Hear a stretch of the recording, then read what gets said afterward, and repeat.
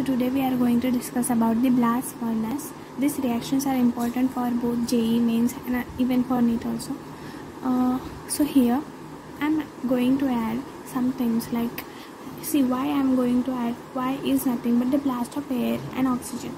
So blast means at a very high temperature I'm going to send this air and oxygen and X is nothing but which we have to add into this so that they will react and we will get our iron required thing. So X is nothing but over along with that I'm going to add limestone and also carbon too. Now here I am in I have indicated three regions. In the first region it is lower part and in this temperature is going to be maximum because I have sent this blast of air with high temperature and thus here the temperature is maximum.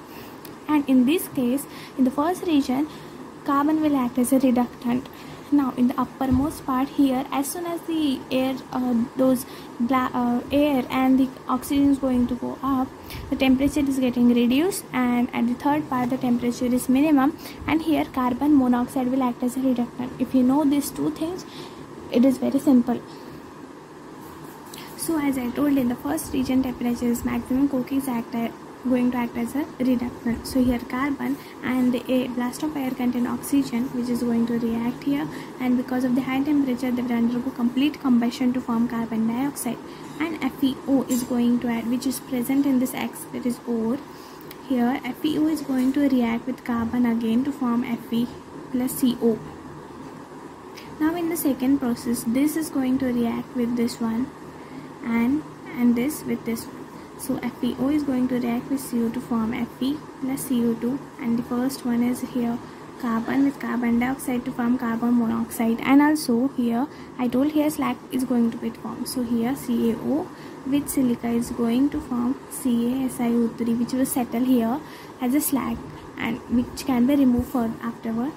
Now in the third region what is going to happen is now in third region see here CaCO3 is going to become like they will decompose to CaO and CO2 is going to release. And as I told here coke is going to act as a reductant. So here FeO Fe2O3 will act at, with react with CO which will give us Fe3O4 which is mixture of Fe2O3 and FeO and again carbon dioxide is released. Now this again will react with carbon monoxide and we will get FeO and CO2 now this gases CO2 and CO are going to release through this as the exhaust gases. And the one which will settle in the bottom is nothing but our iron form in this process here and here. This is going to settle here in the form of pig iron